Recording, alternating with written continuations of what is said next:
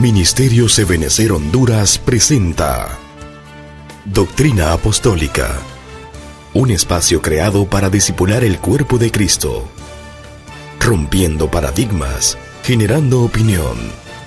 Con ustedes, el apóstol Dr. Germán Ponce.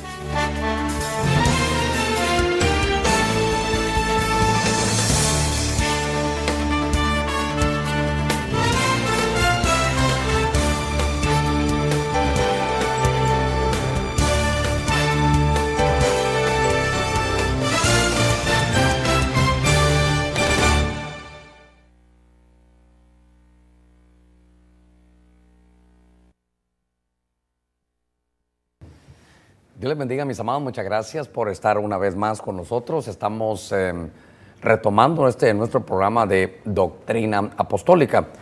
Estaremos una media hora avanzando en lo que es eh, Emanuel Dios con nosotros. Si has seguido con nosotros estos meses, que por alguna razón, porque tuvimos que hacer algo nuevo, quedamos fuera del programa, pero queremos retomarlo porque Emanuel Dios con nosotros ha sido un estudio que Dios ha puesto en mi corazón para que lo desarrollemos. Hoy estamos ya en el programa número 14. No sé cuántos programas voy a hacer con Emanuel, pero Emanuel eh, estamos trabajándolo porque significa Dios con nosotros. Yo recuerdo, quiero eh, refrescarle un poquito la memoria, que Dios habló a mi corazón y me dijo que lo buscara en el Antiguo Testamento. Y creo yo que hemos venido avanzando bastante ya. Eh, terminamos todo el Antiguo Testamento, pero ahora estamos comenzando, ya vimos Mateo, Marcos, Lucas, Juan, Hechos y hoy quiero hablar un poquitito de cómo está Cristo Jesús en cada uno de los libros. Voy a, verlo cómo está aquí en el libro de Romanos. Fíjese que aquí en el libro de Romanos hay muchas cosas que yo puedo decirle, pero ahí en la pantalla, en esa epístola de los Romanos, me llamó la atención este verso. Este verso dice que, por tanto, habiendo sido justificados por la fe, tenemos paz para con Dios por medio de nuestro Señor Jesucristo. Notemos que la única manera de tener paz con Dios es a través de la fe y a través de la fe que creemos que fuimos justificados. Y entonces yo quiero hablarle que Cristo aparece aquí como, como el Dios que nos justifica. Cristo es nuestro justificador y entonces voy a, tomar unos, uh, unos minutitos aquí con usted para que juntos podamos aprender algunas cosas que son importantes. Por ejemplo, bueno, voy a ir primero a ponerle aquí eh, a Cristo Jesús como aparece en eh, la epístola de los romanos. Hoy en este estudio de, esta, de, esta, de este momento vamos a estudiar en la epístola a los romanos. Y entonces Cristo Jesús aparece como el que justifica. Déjeme que le dé la espalda unos segunditos nada más, como el justificador. Él es el que justifica. Y entonces, em, aquí trataremos de ayudarnos a, tratar de leer algo. Aquí ahorita que pasé vi esto y me va a llamar la atención para que juntos veamos. Este es un diccionario Vine, es un, diccionario eh, expositivo de cada palabra del Nuevo Testamento. No voy a pensar que estoy haciendo promoción para vendérselo, pero eh, lo usamos. Si usted no tiene computadora, usted puede venir y de alguna manera poder ver este diccionario que es el diccionario Vine. Usted puede comprarlo en algún lugar y ¿sabe qué? ¿Qué tiene este diccionario? Este diccionario tiene todas las palabras que se pueden utilizar aquí para ver eh, cada una de ellas de lo que, lo que significa en el griego. Pero yo quiero buscar lo que es justificar porque la Biblia dice, justificados pues por la fe, tenemos paz para con Dios por medio de Cristo Jesús. Y fíjese que, déjenme buscar ahí, aquí, eh, en, este, en este libro sobre la justicia. Y mm, aquí está justicia. Entonces, esa palabra justicia se dice qué pero aquí está dicayosis, es la palabra justificar. Y aunque hay mucho que leer, solo quiero decirle esto. El significado que tiene es establecimiento de una persona como justa por absolución de culpas. Nosotros tenemos que entender algo que esto es, eh, el Evangelio conlleva cosas legales. El Evangelio conlleva cosas que de alguna manera son, ah, mm, dijera yo me voy a atrever a decir esto, como jurídicas. El Evangelio dice que nadie se le puede quitar las culpas. A, no ser por una absolución. Y eso es justificación. Estoy leyendo aquí algo más. Eh, por ejemplo, en este diccionario Vine dice que la palabra dicayo, que es justificar, dice es la absolución legal y formal de toda culpa por parte de Dios como juez, siendo el pecador, dice, pronunciado justo al creer en Cristo Jesús. Note que en el cielo están diciendo, a este se le han absuelto todas las culpas, ya no tiene nada por qué sentirse culpable. Y entonces, yo cuando veo esto, y tal vez le iba a leer algo más, pero creo que con eso es importante que lo dejemos, porque esta epístola a los romanos conlleva muchas cosas que, que para mí son importantes. A ver si no sigo manchándome con este marcador. Pero es importante que, que al analizar a Cristo Jesús nosotros miremos que es el que justifica. Ahí aparece en la, en la escritura. Y entonces Él es el que nos absuelve de toda culpa. Y cuando nosotros empezamos a ver esto, a ver cómo lo logro desarrollar aquí con usted, porque mm, quiero explicárselo de tal manera que usted eh, pueda ver en el libro de los Romanos toda la tarea que hace Cristo Jesús. Que Dios me auxilie para esto. Em, va a ser difícil trabajar con este, tal vez voy a utilizar el otro. Pero fíjese que quiero, mm, por cuestiones eh, de, poderle enseñar mejor, voy a trabajar así de esta manera. Voy a trabajar una gran R, porque hay en, la epístola de los romanos, vamos a trabajar justicia. Esto es lo que vamos a trabajar, justicia. Y fíjese que entonces aparecen cuatro R's que yo quiero trasladarle hoy. Porque la justicia es algo que uno tiene que tener de parte de Dios para ser absuelto de toda culpa. Y entonces, primero, fíjese que aparece que la justicia, hay una requisición, hay justicia requerida, hay justicia requerida, de pronto hay justicia también recibida, recibida, sin embargo, no todos la quisieron recibir. Hay entonces, perdóneme aquí que le dé la espalda, hay rechazada hay justicia que, no la quisieron, rechazada. Y al final lo que el Señor trae es una justicia revelada. Y es que esto me va a ayudar. Y yo creo que cuando yo pude mm, tratar de visualizar esto en, cuatro, en cuatro posiciones, me, me, va a ayudar mucho a mí. Porque nosotros tenemos que ver algo. Y tal vez un solo programa de media hora tal vez no nos va a alcanzar. Pero quiero que se dé cuenta cómo la, cómo la justicia y tal vez se lo puse así en 4R para que usted lo, usted lo viera. La Biblia dice que por cuanto todos pecamos estamos destituidos de la gloria de Dios. La Biblia, eh, tal vez, eh, mm, voy a hacer algo más. Fíjese que la justicia requerida está por ejemplo, del capítulo 1 al capítulo 4. La justicia recibida está del capítulo 5 al capítulo 8. La justicia rechazada está del capítulo 9 al capítulo 11 y del 12 al 16 la justicia. Eso es, le estoy diciendo, le estoy hablando de la epístola de los romanos. Mire, le decía uno de los hermanos antes del programa, mientras más leo la Biblia, Dios mío, mm, me doy cuenta que tan poquito que uno sabe, porque solo esta epístola de los romanos nos llevaría años para poderla ver. Pero para que usted y yo entendamos, recuérdese que cuando hablamos de que el Señor es nuestro justificador es que Cristo Jesús delante del Padre dice Padre. Por ejemplo, yo no sé cómo se llame usted, pero Filomeno, Roberto, eh, Sonia, no sé cómo te llames, hermana. Pero la tarea de Cristo Jesús en Romanos es decir, Padre, yo lo absuelvo de toda culpa porque Él, es, él ha creído en mí. Y entonces eh, eso me recuerda a mí el sacrificio de Cristo, porque yo estoy viendo a Cristo en toda la escritura. Ya lo vimos en todo el Antiguo Testamento, lo vimos en Mateo, en Marcos, en Lucas, en Juan, en Hechos, ahora lo estamos viendo en Romanos. Pero lo que, lo que me ha llamado la atención aquí es que nosotros estábamos muertos en delitos y pecados. Fíjese que aquí la, la Biblia empieza a hablar en el capítulo 1 al capítulo 4, empieza a hablar en Romanos, empieza a hablar y a contarnos algunas cosas. Por ejemplo, dice ahí que por cuanto todos pecaron, porque dice que, por ejemplo, conociendo al Creador, lo que hicieron fue que se hicieron imagen, léalo usted en Romanos capítulo 1, se hicieron imagen de las cosas creadas, de animales, de cuadrúpedos, y entonces lo que hicieron fue empezar a adorar a la creación antes que al Creador. Dice que, que muchos como desafiaron la verdad y se dieron al error, Dios los entregó para que cometieran con avidez toda clase de pecados. ¿Por qué? Porque la justicia, se le, le estaban requiriendo justicia, le estaba diciendo ustedes no son justos.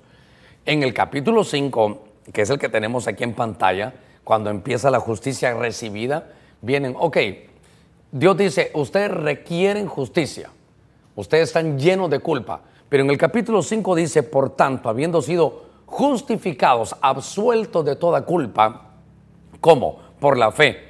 Tenemos paz para con Dios, pero ¿cómo? Por medio de Cristo Jesús. Es decir, que la relación entre el hombre y Dios estaba quebrantada. Delante de Dios merecíamos juicio. Y por eso eh, usted va a seguir viendo cómo Dios le presenta al hombre su justicia, pero muchos, por ejemplo, no la quieren. En el capítulo 11 de Romanos, recuerde que está el olivo y el olivo empieza a ser desgajado. ¿Por qué? Por la incredulidad de Israel. Por eso le puse allá que al final también Dios va a revelar su justicia para nosotros. Ahora, yo tengo que volver al punto de, este programa de Manuel Dios con nosotros, que es el programa número 14, porque aquí vamos a entender eh, de alguna manera cómo Dios está mm, ofreciendo algún tipo de, justicia. Y el único tipo de justicia que, que ofrece es que el cielo, si lo pudiéramos poner aquí, ¿verdad? El cielo no tiene relación con el hombre. ¿Por qué? Aquí en la tierra, porque el hombre aquí en la tierra hay pecado. Hay pecado. Y la única manera de ser absuelto es por la cruz de Cristo. La cruz de Cristo es el puente de nuestra relación con Dios. Ahora, por eso usted recordará, usted recordará cómo Dios eh, nos marca este sacrificio. Por ejemplo, cuando el Señor va a la cruz, usted se recuerda que dice Elí, Elí, lama sabactani, usted recuerda cómo el Señor está ahí, pero al final el Señor está en la cruz y al final el Señor dice, consumado es, dice, ya terminé. Y es que recuérdese que el Señor no tuvo pecado, estuvo aquí en la, en la, en la tierra sin pecado. Sin embargo, la escritura marca que, que Él tuvo que morir. La paga del pecado es muerte. Y entonces, ¿por qué Cristo Jesús tuvo que morir?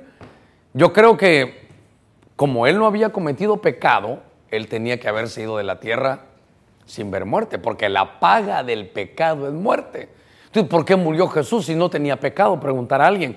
Porque Él agarró eh, como un pararrayos. El rayo venía a destruir y Él se puso en medio para que todo el juicio que era para usted y para mí viniera sobre Él. Y cuando Él cumplió y le dijo, Padre, ¿sabes qué? Todas las cargas Todas las cargas de cada uno, dámelas a mí. Todas las cargas yo las voy a querer. Padre, los pecados de cada, los pecados de Giovanni, los pecados de Aguilar, los pecados de Henry, los pecados de Germán, los dámelos a mí, yo los voy a tener. Y entonces cuando él lo lleva y al final eh, entonces empieza a morir. ¿Por qué? Porque tomó sus pecados y los míos. Y entonces la Biblia a mí me habla y me dice que Él es el que lo lleva. Por eso Él dijo, consumado es.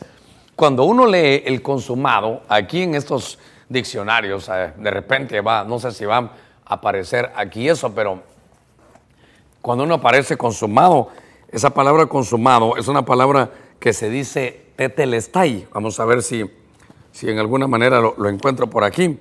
Pero es que eso es tan, mm, tan tremendo. Aquí aparece consumar. Es algo que está totalmente ya terminado consumar, consumado. Eh, dice acabar una cosa, es llevarla a su plenitud. Se traduce aquí teleo, teleo, es consumado es. Y es que esto también creo que alguna vez lo explicamos, pero lo quiero llevar hoy sí me va a servir más que nunca. ¿Por qué? Porque cuando Jesús estaba ahí, dijo, consumado es, yo terminé la obra. Yo pagué con mi vida, dice Jesús, porque por tus pecados. Por eso, esta, esto que vemos, que usted va a tener en su pantalla, ahora lo va a entender mejor. Porque en Romanos capítulo 5, Cristo aparece como el que justifica y dice, por tanto, habiendo sido justificados, es decir, absueltos de culpa, dice, por la fe tenemos paz para con Dios.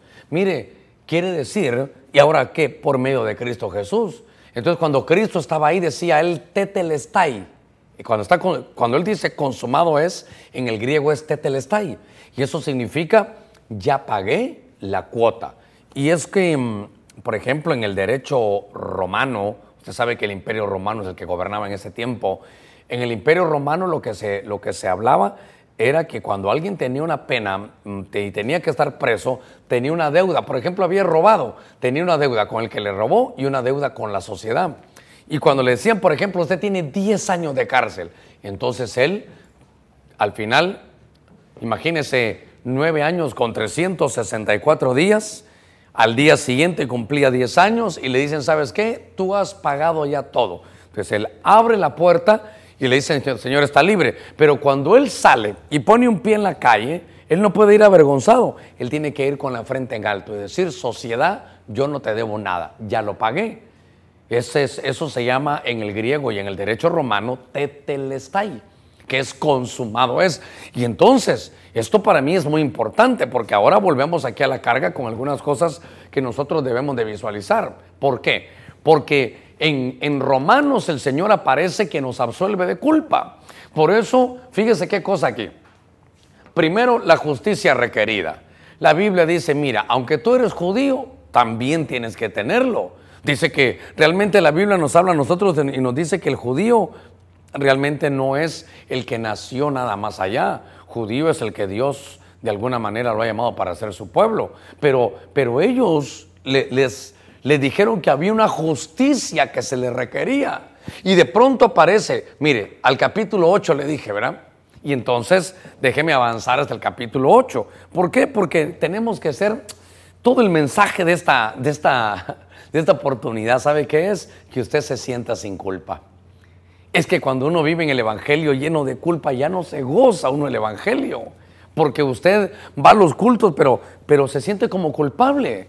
Mire, el sacrificio de Cristo lo, lo, ha, le ha, lo ha hecho a usted absuelto de toda culpa. Por eso, cuando, conforme avanzamos nosotros en Romanos, ahí voy en la segunda parte, porque Romano para mí, para podérselo enseñar, tiene, tiene cuatro R's. Cuatro R's de la justicia que es requerida, recibida, rechazada y revelada. Esto es lo que uno puede entender aquí. Y para hacérselo más más em, fácil de que a usted se le quede, lo puse en, esta, en, unas, en cuatro R's. Dios requiere, o sea que, que por sus propios métodos, por sus propios esfuerzos, usted no va a poder sentirse absuelto, usted siempre se va a sentir como que la debe. Pero cuando Dios otorga esa justicia, que es del capítulo 5 al 8, fíjese que si usted abre su Biblia, en el capítulo 8 de Romanos, ahí en su casa, Hoy no me pusieron aquí cafecito, tal vez en el otro programa un tecito, pero fíjese que la Biblia dice, ninguna condenación hay para los que están en Cristo Jesús. O sea que yo me estoy esforzando en este programa de esta, en esta oportunidad. ¿Sabe qué? Para que usted sepa algo, usted se tiene que sentir sin culpa para que no se sienta condenado. ¿Se recuerda aquella mujer que pecó? aquella mujer que había caído en el adulterio y que de pronto la ponen delante del Señor y que la ley decía que había que, ella tenía que pagar su culpa. Ella no tenía justicia, ella estaba totalmente condenada por porque había fallado. Y cuando le iban a pedir a Jesús dice, ¿saben qué? El que esté sin pecado que tire la primera piedra. Entonces, cuando, cuando el Señor llega con esa mujer y le dice, ¿sabes qué? El que esté sin pecado que tire la primera piedra y le dice, mira mujer, ¿quiénes son los que te condenan? Y ya nadie la condenaba. Y le dice, Señor, ya nadie me condena. Entonces el Señor le dice, ¿sabes qué? Vete y no peques más. Yo tampoco te condeno. Y es que esto para mí es tan importante, ¿saben por qué? Porque el Evangelio a veces es un Evangelio de condenación. Por ejemplo, mira, hoy me manché la mano en el, con el marcador. Entonces, eh, se manchó la mano, quiere decir que los cinco ministerios están manchados. Que uno tiene una sombra significa que la cosa no camina bien. Que uno se golpeó el dedo meñique, que, que entonces el maestro está malo. Eso es un misticismo que la gente vive, pero totalmente condenada. Y yo creo que la gente tiene que establecer algo que es muy hermoso aquí. Porque hay una justicia que ya tenemos, que nos la dieron ya nos dijeron que se requiere, pero ya también ya nos lo otorgaron, es la justicia recibida. Ninguna condenación hay para los que están en Cristo Jesús. Entonces, este programa es para que veamos a Cristo en el libro de Romanos. Y él dice ahí, te absuelvo de toda culpa. ¿Cómo sentirse uno en paz con Dios? Confesar sus pecados y creer en Cristo Jesús, que Él cuando estuvo en la cruz llevó todas sus culpas. Por eso ninguna condenación hay. Pero como estoy con gozando de buen tiempo todavía, al hablar en el libro de Romanos, La justicia que otorga Dios de pronto es rechazada. En el capítulo 9, ahí hay vasos de honra y hay vasos de deshonra. Ahí se dan tantas cosas que de alguna manera eh, no, no, no, logran, no logran desarrollar lo que, lo que uno espera. ¿Por qué le digo esto? Porque se ofrece, por ejemplo, en el, eh, ahí dice que ellos son del olivo eh, natural, pero entonces en el olivo pasan dos cosas. Le ruego que tome toda su atención. Pasan dos cosas. Número uno, hay ramas que pertenecen al olivo, el olivo es Israel, pero dice que algunas ramas son desgajadas, desgajadas. ¿Para qué? O por primero, ¿por qué? Por su incredulidad. Y entonces alguien que no era del pueblo de Israel, por ejemplo, usted no los mira, pero aquí hay un montón de muchachos ahí atrás viendo las, eh, las, las cosas. Y entonces, cuando yo veo eso, la rama, fíjese, fíjese qué cosa, Israel era la rama, pero como no creyeron a Cristo Jesús, los desgajaron. Y en su lugar nos injertaron a usted y a mí. Fíjese qué cosa tan tremenda y en su lugar nos injertaron. Quiere decir que por cuanto ellos no recibieron la verdad y nosotros sí la recibimos, entonces a usted nos injertaron en lugar de ellos. Nosotros, y dice la Biblia, mire qué cosa, el olivo, el olivo hermoso, el olivo bien cuidado era, era Israel. Y nosotros, no se va a molestar conmigo, usted y yo éramos olivo silvestre. La reina Valera antigua, ¿sabe qué dice? Éramos acebuche. Y entonces, del olivo silvestre que no servía, del acebuche, dijimos muchos de nosotros, yo sí creo, y nos arrancan de ahí y nos meten al verdadero olivo, al verdadero olivo. Nos hicieron un solo pueblo, eso voy a hablar más adelante. Y entonces ahora nos injertaron al olivo y entonces somos participantes de la rica savia que corre ahí. Entonces note que aquí los judíos rechazaron, hermano, rechazaron es más, se mira que hay vasos de honra y hay vasos de deshonra. Se habla también de Faraón y se le dice a Faraón, ¿sabes qué? Faraón era como un vaso elegido para ser un vaso de deshonra. Pero, y quiero insistir todavía porque ahora el Señor viene y revela su justicia. Tal vez tendría que decir aquí algo que es importante al ver que en Romanos se presenta a Cristo como el justificador, la justicia entre el cielo y la tierra, el que haya un puente para que uno pueda llegar, el sentirse absuelto de toda culpa, el saber que no hay un dedo que te pueda decir que te va a condenar, porque dice ahí justificados pues por la fe, absueltos de toda culpa como por la fe en Cristo. Es la única manera de, de sentirse uno sin condenación. Si tú ya vives en el Evangelio, no te sientas condenado. Si tú ya estás ahí, ¿sabe qué? Hay una tarea que realizan los sacerdotes. El sacerdote después de que hacía su sacrificio, dice que agarraba las, eh, cenizas, las ponía en una bandeja con una pala y se las llevaba a tirarlas. No te estés condenando con tus cenizas. No te, que no permitas que ningún predicador te señale y te haga sentirte condenado. Claro que eh, las manchas todavía de alguna manera se nos, se nos acercan, ¿verdad? Pero realmente yo creo que la justicia de Dios es Cristo Jesús. Yo sé que puedo seguir ahorita con, con Corintios y primera y segunda de Corintios, con Gálatas y Efesios, pero ese es un programa que yo quiero tener solo para la epístola a los romanos, porque el cristiano debe de sentirse que obtiene ya la justicia de Dios, como por la fe. Una vez más, le, le ruego que lea conmigo. Por tanto, habiendo sido justificados por la fe, Dice ahí, tenemos paz para con Dios por medio de nuestro Señor Jesucristo. ¿Sabe qué? Mi tarea es reforzarle hoy. Mire, si usted es una persona cristiana, siéntase sin culpa. Si usted cree en Cristo Jesús, Él ya llevó sus culpas. Pastor, si Él ya llevó las mías, pero volvió a pecar, los pecados del pasado, los pecados del presente y los pecados del futuro, todo ya lo llevó Cristo Jesús. Por eso este texto fue el que elegí, aunque se pudo haber elegido Romanos 8.1. Ninguna condenación hay para los que están en Cristo Jesús. Por eso yo voy eh, casi que terminando este, este programa. En el próximo programa le voy a hablar de Cristo Jesús en Primera de Corintios, que habla de la resurrección.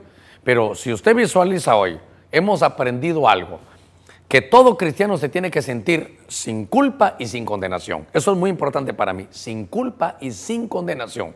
Dos cosas. ¿Por qué? Porque el ser justificados es que nos absuelven de toda culpa. y por eso nadie te puede condenar a ti. Ahora, la única manera de no sentirse limpio y no sentirse condenado es porque usted ha confesado sus pecados. La Biblia dice que el que encubre sus pecados no prosperará, pero el que lo confiese y se aparta alcanzará misericordia. Dios nos proveyó justicia, por eso, venga conmigo.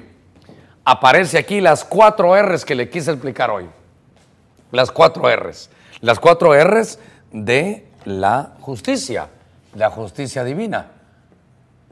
Ahora no se mira muchito este, ¿verdad? Pero es, es la justicia.